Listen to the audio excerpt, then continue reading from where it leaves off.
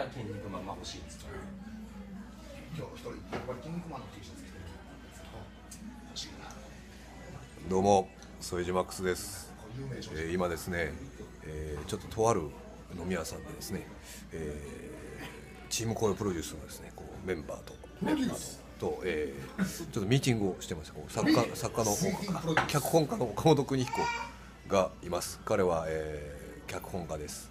えー、He's、uh, ん？ライター？ライターね。ライター。作家さんです。で演出家の波尾くんです。よくんではい、すそして、えー、紅葉さんと幸三さんとこっちに幸三さんいてあります。はい、えー、今日はもつ鍋を食べます。もう中身入ってないね。入ってないね。はい。稽古終わりでこういう飲みの席に来てたりもします。はい